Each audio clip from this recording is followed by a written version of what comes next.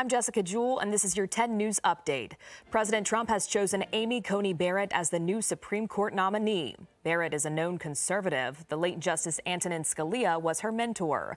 The mother of seven is a devout Catholic and a former Notre Dame law professor. At 48, she would be the High Court's youngest justice and the fifth woman to serve.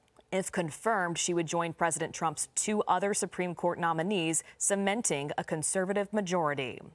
Lynchburg police say two people showed up to the hospital with gunshot wounds Saturday night. They say it happened on 11th and Fillmore Street. This story is developing. Stay with 10 News for the latest information both on air and online.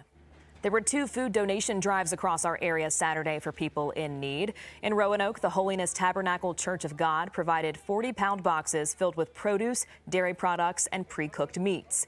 The group will be at Big Lots giving out boxes every Saturday morning at 9:30 until the end of the year. They hope this helps take pressure off needing to find the money to put food on the table each day.